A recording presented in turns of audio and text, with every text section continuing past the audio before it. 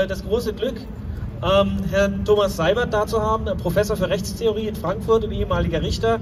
Er wird uns seine Sicht der Dinge ähm, auf die rechtliche Basis der Impfpflicht äh, erläutern. Freue mich, dass Sie da sind.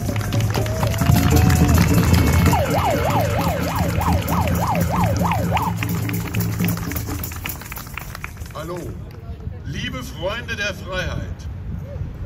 Von der Rechtstheorie gibt es, gibt es einen kleinen alten Text, der aktuell ist wie nie. Ich lese ihn vor. Der Mensch ist frei geboren und überall liegt er in Ketten. Einer hält sich für den Herrn des anderen und bleibt doch mehr Sklave als sie. Wie ist dieser Wandel zustande gekommen? Ich weiß es nicht. Was kann ihm Rechtmäßigkeit verleihen? Diese Frage glaube ich beantworten zu können. Der Text ist 260 Jahre alt und stammt von Jean-Jacques Rousseau. Was ihm folgt, ist der Gesellschaftsvertrag. Der Gesellschaftsvertrag, den wir alle miteinander geschlossen haben sollen. Das ist die Lehre, der Inhalt, der uns heute verbinden soll. Nur weiß man nicht genau, wer mit welchem Recht was in den, in den Gesellschaftsvertrag gerade hineinlegt und interpretiert. Das war von Anfang an seit 1760 zweifelhaft. Denn äh, Rousseau, der vagabundierende Philosoph, der über die Marktplätze zog, für die Kinder schrieb und seine eigenen ins Waisenhaus schickte, der traute auch niemand Einzelnem. Alle sollten einem allgemeinen Willen unterfallen. Alle sollten sich bestimmen lassen von der Bestimmung, die bei Rousseau auf gut Französisch Volonté générale heißt oder auf Altdeutsch Gemeinwille. Darum wird jetzt gerade gekämpft. Darum bedienen sich alle und darum müssen wir uns hier des Wortes Freiheit bedienen. Freiheit hat einen Inhalt, den diejenigen bestimmen, über die bestimmt werden soll. Das ist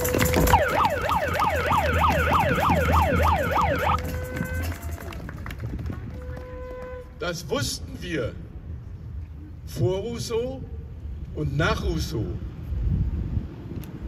Es gibt eine Freiheit der körperlichen Selbstbestimmung. Es gibt eine Freiheit zum Leben und im Übrigen auch eine Freiheit zum Tode. Diese Freiheiten, die Basisfreiheiten für menschliches Zusammenleben sind, erfahren eine Umgestaltung, die erschreckend ist. Und ich muss Sie und euch alle mit ein paar juristischen Lästigkeiten befassen. Sie beginnen mit einem Gesetzentwurf, der den Titel trägt Gesetz zur Stärkung der Impfprävention.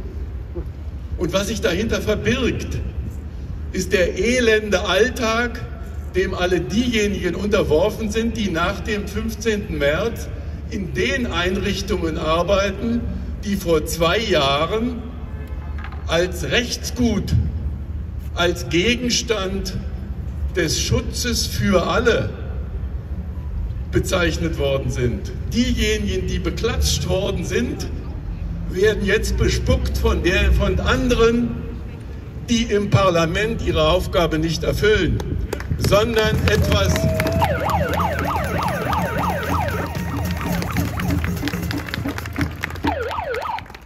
sondern ein Meisterwerk zustande bringen, das ich Ihnen in drei Sätzen zu Gehör bringen will.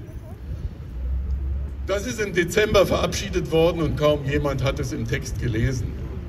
Es geht nämlich gar nicht um eine einrichtungsbezogene Impfpflicht.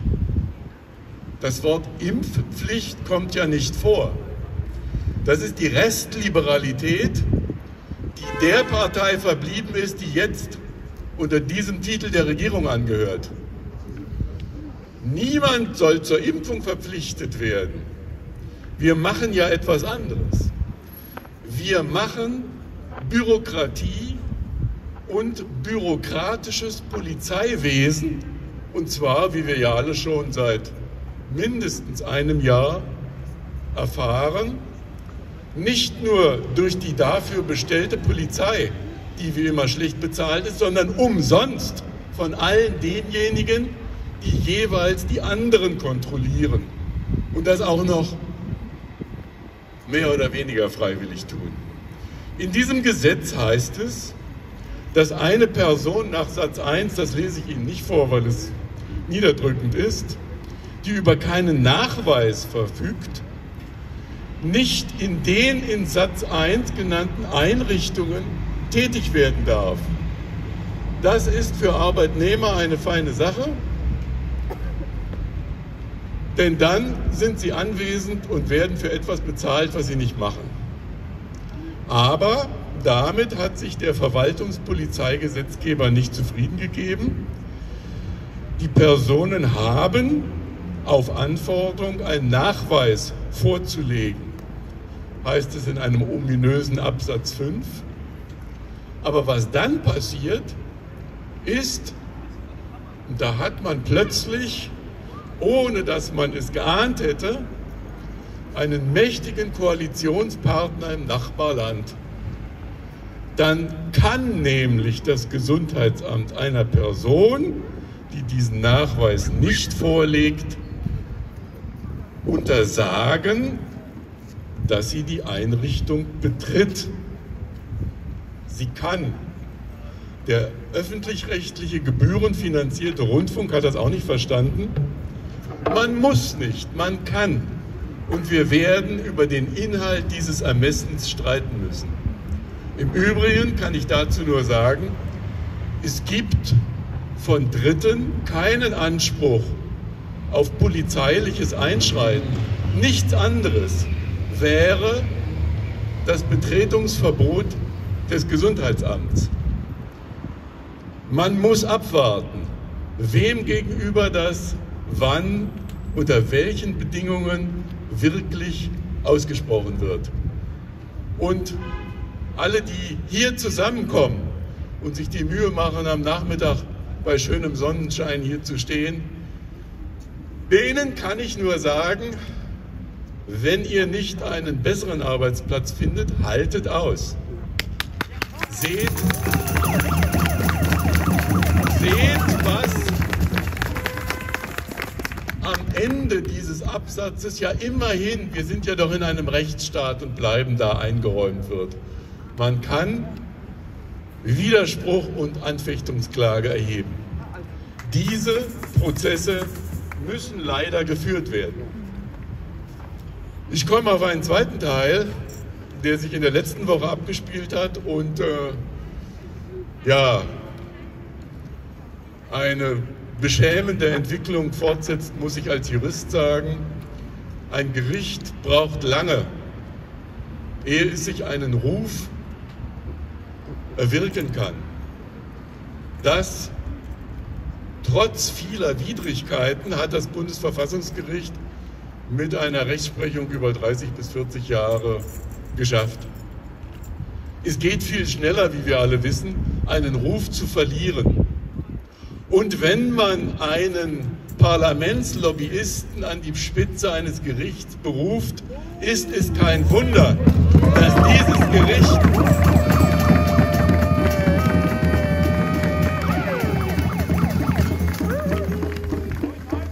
dass dieses Gericht seine Arbeit nicht erledigt. Es hat in der letzten Woche einen Eilantrag gegen den Paragraphen, den ich Ihnen hier teilweise vorgelesen habe, gegeben. Der ist äh, zurückgewiesen worden, wie man, nein, wie man nicht erwarten konnte. Aus juristischer Sicht war diese Entscheidung alternativlos, um dieses schöne Wort mal zu benutzen.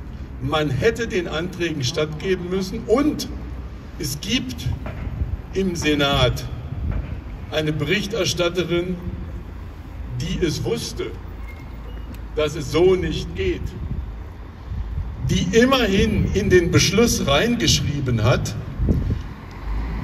dass Paragraph 20a im Zusammenhang der weiteren Verfügungen dieses bereits gescheiterten Gesundheitsministers eine sogenannte doppelte dynamische Verweisung enthält. Also ein Ding, bei dem man, deswegen muss ich hier so viel Papier in der Hand halten, beim Lesen des Gesetzes nicht weiß, was es meint. Da steht etwas drin, was auch Juristen leider, ich habe es in der letzten Woche mit verschiedenen versucht, nicht interpretieren können, wenn sie nicht, und davon gibt es viele, ideologisch inzwischen so überzeugt sind, dass sie Texte sowieso nicht mehr lesen, sondern, was ja geschehen ist, behaupten, es handele sich um die Pflicht, Verbote auszusprechen. Das sagt auch das Bundesverfassungsgericht im Beschluss nicht. Es spricht weder von der Pflicht zur Impfung noch von einer Pflicht, Verbote auszusprechen, sondern es sagt, und dazu muss man bismarckschen Zynismus aufbringen. Es sagt, es handle sich ja nur um die Verpflichtung der Beschäftigten, ihren Arbeitsplatz zu wechseln. Man fragt sich dann, wir dachten bisher, auch dieses sei ein Grundrecht. Auch dieses ist das Grundrecht der Arbeitnehmer, das zu den Zeiten, wo die SPD ihre Aufgabe noch erfüllte, auf der Straße von Sozialisten erkämpft worden ist. Die sind dort verschwunden. Die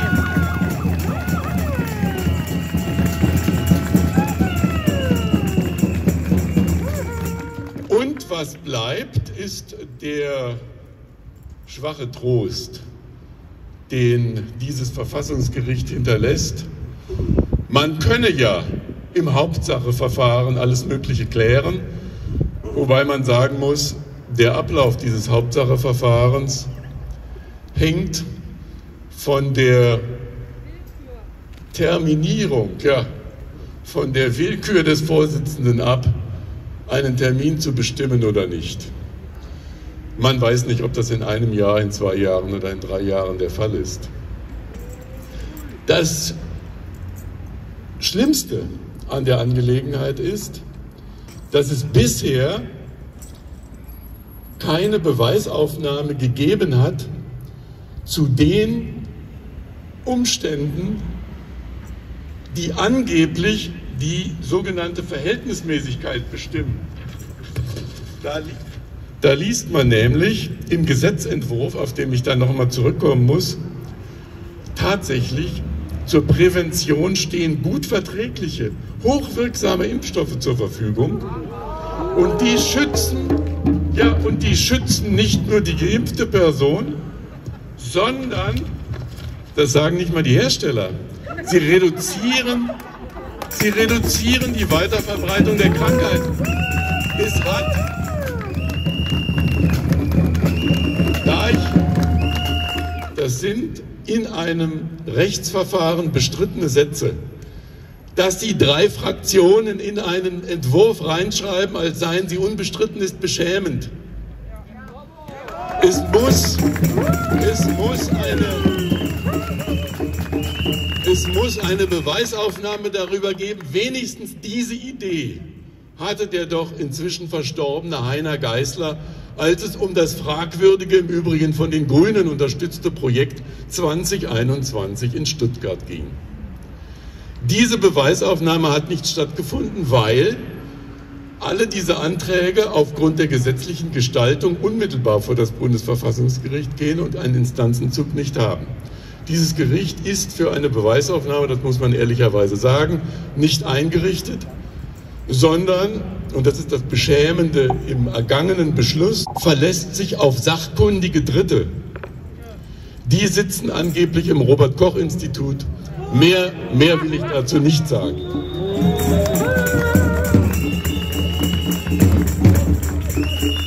Das, das ist allgemeiner Stoff und man fragt sich am Samstagnachmittag, was bleibt für alle diejenigen, die dem 15. März entgegengehen müssen.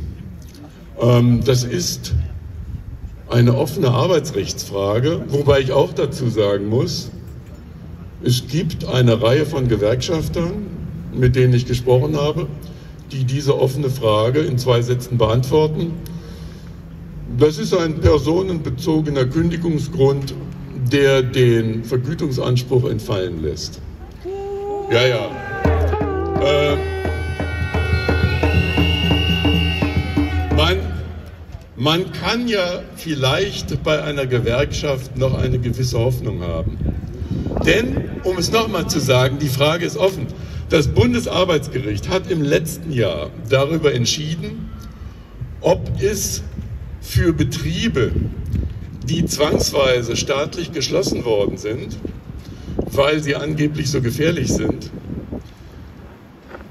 eine Vergütungspflicht gegenüber den Arbeitnehmern gibt und hat mit einer offenen Begründung auf das Betriebsrisiko abgestellt, das in einem Betrieb herrsche. Dazu kann ich nur individuell sagen, lasst euch nicht zu schnell damit abspeisen, man könne, wenn man das passende Zertifikat nicht bringe, gar nicht beschäftigt werden. Es ist die Frage zu stellen, wie ein Betrieb seine interne Organisation und Arbeitsverteilung verändern kann. Denn, wie wir ja überall hören, sind es ja bekanntlich nur ganz wenige, fast sind sie gar nicht zu sehen und sie fallen auch gar nicht weiter auf. Beschäftigte, die da noch übrig bleiben, da wäre es ja eine Möglichkeit, die weiterhin zu beschäftigen, denn dann, das muss ich leider sagen, ich bin ja nicht mehr so ganz jung und habe überlegt, wann in der Geschichte des Arbeitsrechts in bestehende Arbeitsverträge von Staatswegen ein persönlicher Mangel nachträglich eingepflanzt worden wäre es tut mir leid, mir ist kein Fall eingefallen. Äh, möglicherweise liegt das an mir, aber wenn ich die Beispiele höre, die öffentlich zitiert werden, dann kann man sich nur mit Grausen abwenden. Die gehen, das habt ihr alle sicherlich auch schon gehört, dahin, das ist dann so, als ob ein Lkw-Fahrer keine Fahrerlaubnis mehr hat. Das ist eben nicht so.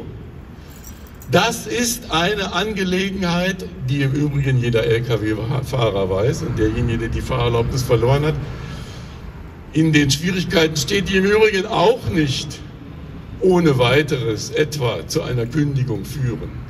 Der Weg ist schwierig.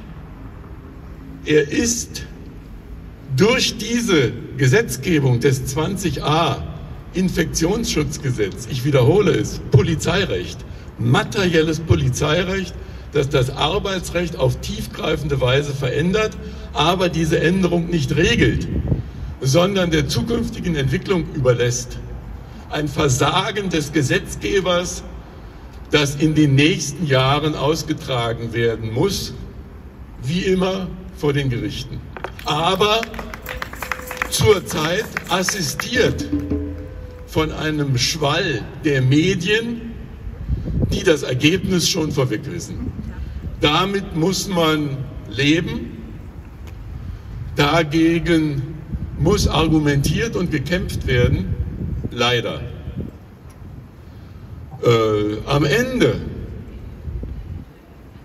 bleibt mir nur eine, ein kleiner Spruch, ein kleiner geborgter Witz aus der Gegenöffentlichkeit der DDR, der passt aber immer wieder, wenn man ihn leicht abwandelt, dann kann man sagen, vor zwei Jahren, vor fast genau zwei Jahren, standen wir vor einem großen Abgrund.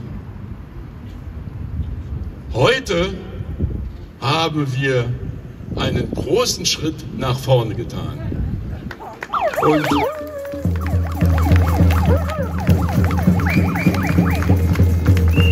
damit muss ich Sie alle in den Nachmittag schicken.